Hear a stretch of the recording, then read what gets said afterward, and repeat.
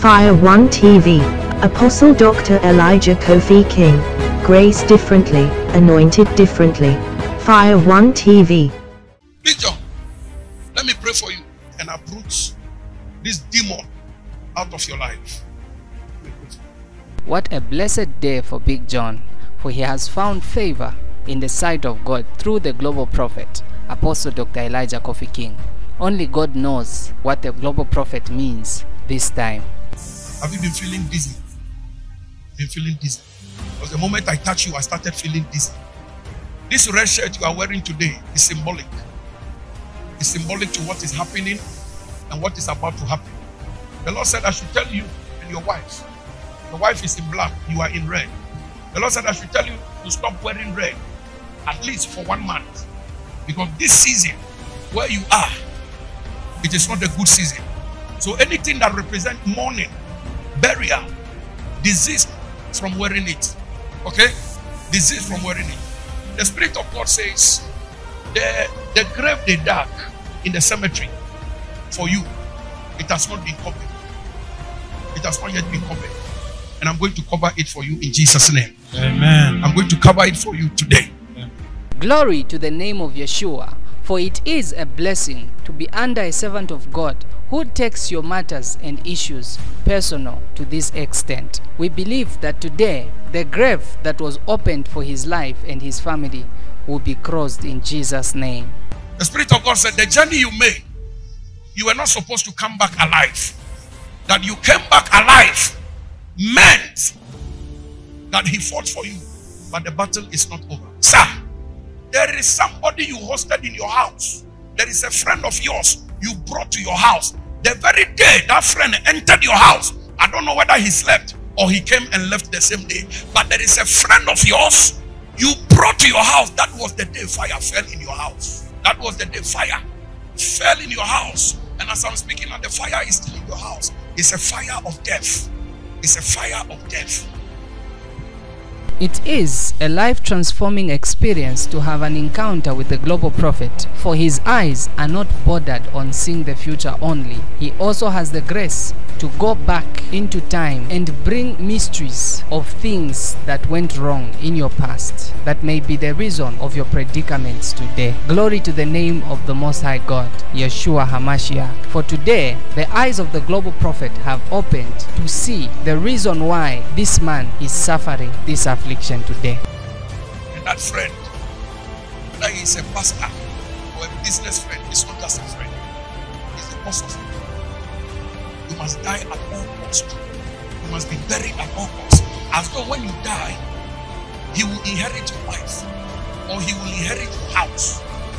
As though, as though, because when you die, he cannot inherit your wife. He cannot replace you in the life of your children. So why must you die when he is not related to you? There is somebody you brought to your house. That is your problem. That is your problem. You see, sometimes when people are so conscious of their pastors, it is not because they have no will of their own. It is because they know where they are coming from. Every step they want to take, they want to consult. Do you understand? There are people who are like that. But they know where they are coming from. There is a friend you invited to your home. That friend has disturbed your soul. He has disturbed your soul. Uh, actually, I think I can confirm on that. There's a friend of mine that actually came to the house we are building, the new one. He's been pushing me, John, you need to move to your house. No, people die. Hey! He, he was giving you a spiritual bullet as he was like that. He said those words, I think, on two occasions. When he came at first, he pushed, no, please, I I know some of the things are not yet finished, but please move into your house. I've seen people die before they move into their own beautiful houses. So make it a point that any time you need to move in. And I've been with my wife, but she said, I think that's a very bad spirit. You need to tell Pastor Why, about this. why would you even But I never like told you. You never told me. No. You never told me. Wow. It seems at this point the global prophet has cracked the case open for everyone to see how wicked sometimes our environments can be through friends and family members. I believe the life of this man will never be the same after this encounter, for his eyes have been opened, for he has experienced spiritually a prophetic apocalypse. But those words came from him. Louis, Why would you think like that? For instance, uh, I prayed for you and I told you you are going to get a job and you landed a contract with DSTV and you have shifted from your mother's place and you are on your own. The moment I come, I say, Ah, my guy, why don't you do this? Because I see people who get employed and before they enjoy the blessing, they die. The moment the person thinks like that, you should know the spirit in that person. You should know the spirit in that person. Why should you see your brother excelling? And the first thing that comes into your mind is him dying. Why? Why? It's not like that. Do you know that the way the white people serve God is different from the way we serve God? Do you know why it is like that? Because of us, our mentality. We are serving one God, but we operate different. The black man's mind is so awkward, backward. Backward. Me, I have not mentioned anyone's name. And you yourself, you are witness, you have never mentioned this to me. It is you who is telling me. But I'm telling you that you have brought somebody to your home. That was the beginning. Fire fell in your house. That was the beginning. Fire fell in your house. And spiritually, they have dug your grave. And any time from now, you are supposed to have fallen into it. Even before you came from Dubai, you were supposed to be buried. Coming down. But God stood with you. The church stood with you. But the Lord said, the grave is still not covered. It has to be covered. So come, let me cover it. I know your, your favorite color is black because most of us you wearing black. Please stop wearing black for now. At least one month, two months, let the, the season pass. Let the evil wind stop blowing. Amen.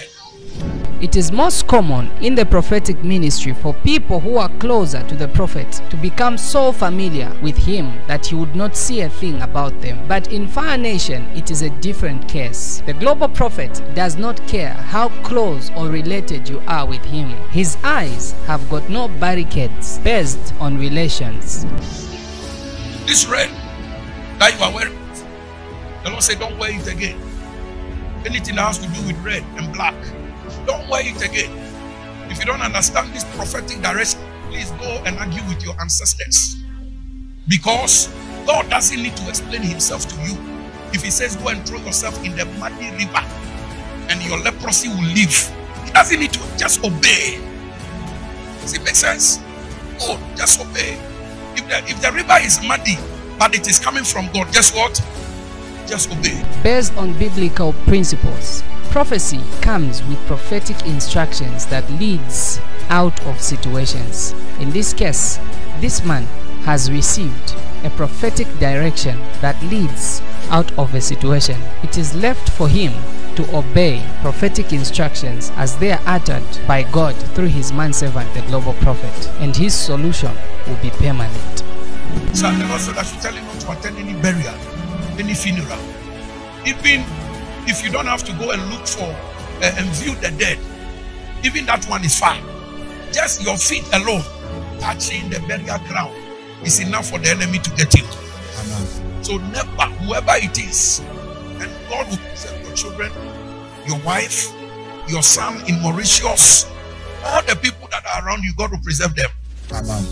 In this season, from now to the next three months, no burial service for you, your wife, or your children. In Jesus' name. Amen. I said in Jesus' name. Amen. I said in Jesus' name. Amen.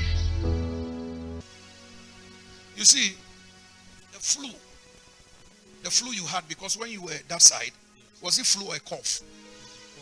It was a cough and a flu. Yes, Pastor. The flu you had that time, it was not a flu. It was the smell of the dead and it entered through your right nose. So that block nose you had, which later became a cough, it was not an ordinary. It was the spirit of death, the smoke of death that entered into you. That entered into you.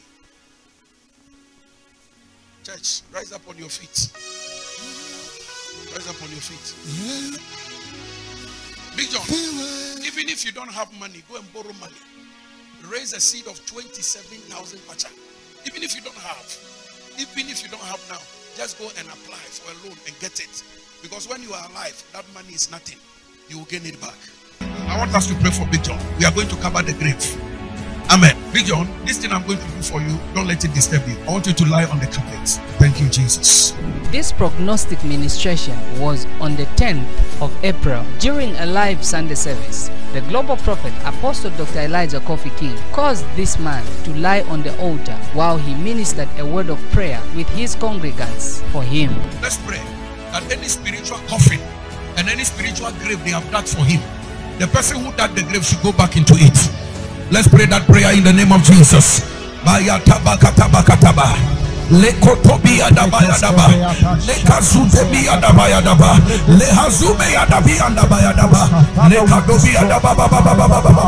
Father, we call upon you in the name of Jesus. You said in your word that no weapon formed against us shall prosper. As we pray for your son, deliver him from that coffin, deliver him from that grave.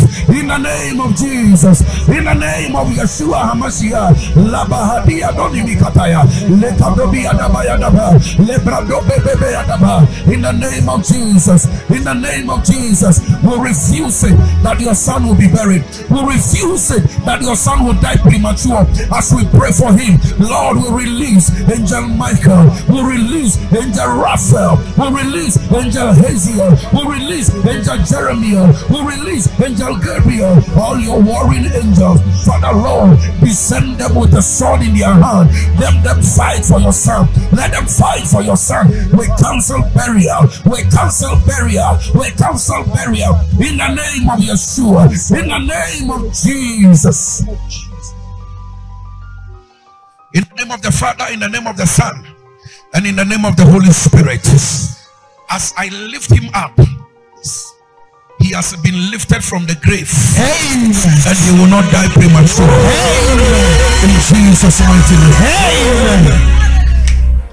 Any spiritual wound Yes. inside your body, I command it to die. Amen. Any spiritual soul Yes. inside your body, Yes. I command it to die. Amen. In the name of Jesus. The Bible says, iron sharpens iron. Yes. The fire I carry. Yes. I release the fire in your body. Amen. I release the fire in your body. I release the fire in your body. Amen. In Jesus' mighty name. Amen. You will not be diagnosed of any demonic sickness. Amen. I cancel it. Yes. You will not live your life on medication. Amen. You will live your life Yes. on the word of God Yes. and on prayer. Amen. In Jesus' name. Amen. God bless you, sir. Amen. God bless you. Big John, please come. On the 17th of April 2022, Big John was called on the altar by the global prophet to testify to the glory of the Lord, Yeshua HaMashiach, for what he had done for him after the previous ministration by the global prophet in Fire Nation Arena Ministries. This was his testimony. I'm not going to prophesy to you. I'm not going to prophesy to you. Unless if the Spirit of God will lead me to pray for you. Big John, please come and stand here. My son, Big John, by the grace of God, by the grace of God, I believe you are delivered. You are not the same person you were last time. Big John was diagnosed of certain things, certain things, and he mentioned it to me. And he said, they have asked him to come tomorrow and do another test. And this test, they are taking it to India. And the moment they take it to India, it is a settled matter. Because most of this lab and these hospitals, they are they are sponsored by the gods of Indians. They are sponsored by them. And the moment they come back with the report, you have no choice than to spend money, fly, go for surgery in India. Your life will never be the same again. How can you be a son of this commission and your body become molested to that extent that you fly all the way to India? So I stopped him not to go for the test because that sickness is a spiritual sickness. And that is what I diagnosed for him on Sunday, where it was coming from. Because I was so confident and I was so bold and I was so straight to the point to say, There is somebody you brought to your house. That was the day fire fell in your house. And I said, That is why some people, it will look like they have no mind of their own. Every step they will, they will take, they will consult their prophet first. Yes. Do you remember I said so? Yes. Every step they will take, a relative of mine is coming. I will consult my prophet to see if it is coming in peace or in danger. So, my question to myself was if Big John had confirmed to say, Yes, I brought somebody to my house and she's the woman seated behind me, what would I have done? what would I have done? I may be aggressive, but I'm a very wise man, very tactical, very prophetic. There is no prophet who is who is a fool. Every prophet has a prophetic wisdom. God gives them. So I would have dealt with it nicely, diplomatically, that it would have been peace. Amen. Big John, that operation or that whatever diagnosis, don't even bother yourself to go. Uh, give Big John microphone. How how how have you felt after the prayer? In the first place, what were they diagnosing you knew of, which was false, and how have you felt after the prayer? The, hello? Uh, they, they diagnosed me of uh, prostate uh, cancer, and I was told to go for a biopsy. Who said, Hey, c- can you imagine a son of this house? A prophet is driving the car you, you sweated to buy for him, and they diagnose you of what? Cancer? It's impossible. Say never. So it was on Monday that Pastor came with uh, the intercessors. They visited us uh, at home, and they really fired uh, heavy prayers. After we prayed at home, we went to my other project. We also prayed there. Then after that, when we went back home with my wife, we could even feel that um, we even feel light in our bodies. I even communicated with Pastor that Pastor, after the prayers you gave us, we feel even the atmosphere in the house is quite very light as compared to what we had the other weeks. And um, on Monday, I even phoned him. I think it was after lunch. You know, I've always been having headaches, feeling bad in my body, but on Monday I felt very brand new. And uh,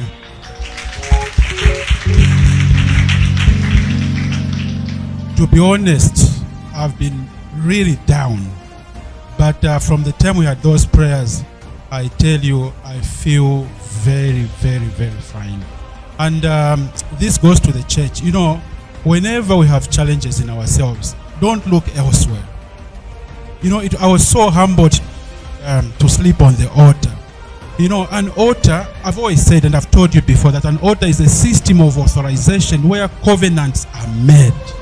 And believe me, me lying on the altar like that, it might come out so simple in your eyes, but believe me, that means a lot in the realm of the spirit. And I think, Papa, to, you know, our issues, it takes them so personal. You know, when they came home, they came with two bottles of olive oil, and I think you know how much olive oil costs. And uh, there is more that I would want to say, but it's, I mean, my heart is so is, is so touched with what Papa can do for us. He takes things so personal. Even when the time they came home, they were very tired, but he gave his time for me. You know, I I was so humbled. I mean, God knows how much uh, I appreciate what Papa did for me and my family. May God bless his ministry. Thank you so much. God bless you, Big John. You will live long. On the 1st of May 2022, Big John came to seal his testimony with a report from the doctor.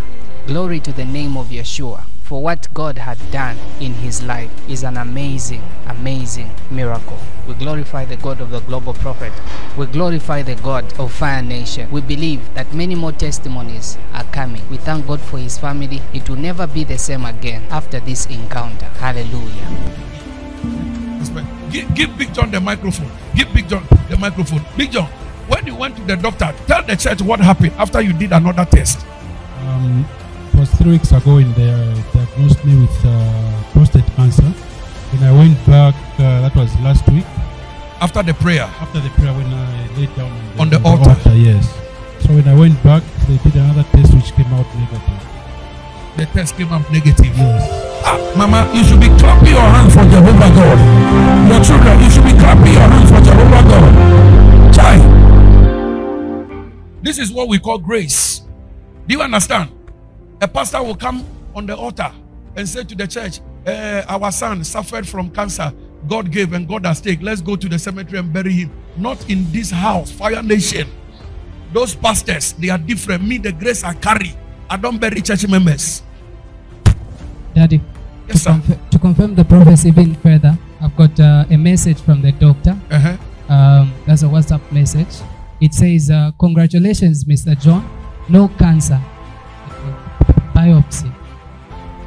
Low Then- cancer or no cancer. No cancer. No cancer in the biopsy. in the biopsy. yes, that, that that that means after the test was done, then uh, I thank God, Big John, you listened to me and you believed in my grace. Yes. The grace of God on my life. When I told you to say, don't go and do that last test, they wanted to send to India. It was definitely going to come with negative report. You say, yes, you have cancer, colon cancer, cervical cancer, breast cancer, this cancer, bone cancer, skin cancer. They were going to come up with that problem. And he believed me when I said, that one they are sending to India, don't go and do it. Come, let me pray. Come, let me pray. And by the grace of God, God has proven himself that indeed his ears are open in this house. Amen. Do you know what it means for a doctor to diagnose you of cancer? And the following week you do another test and they say there is no cancer. In another churches, there is that that pastor will probably go and sleep in a cemetery, invoke the spirit of the dead, do all manner of sacrifice before such church member will receive healing. Ordinary prayer, Yes. which did not even take 10 minutes, God answered for him. Amen. Church member in this house is permitted to suffer from cancer. Amen. It can never happen. Amen. not because it is my power, but the covenant I have with my God. Yes. It can never happen. Wow, viewers all over the world, it is an honor and rare privilege to be witnesses of such a mighty manifestation of God through his manservant Apostle Dr. Elijah Kofi King. We have seen with our eyes that God has got no barricades when it comes to healing. He heals any disease. Prostate cancer has got no power. We can stand today and testify and look at the prostate cancer and say, Where is your sting today? Where is the devil now? Glory to the name of Yeshua HaMashiach. For today, the Lord has delivered his son from this attack through his manservant, the global prophet. I encourage you wherever you are, it might be any sickness. You might be going through a lot right now. You might be going through difficulties in your life and your health. I want to encourage you that an encounter with the global prophet can transform your entire life. Those of you that are not yet subscribers to the channel, I encourage you right now to hit the subscription button and hit the bell notification that you may be notified each time there's a video uploaded. Fire Nation Arena Ministries is a mountain of giant solutions for giant problems. God bless you all. Thanks for watching and see you soon.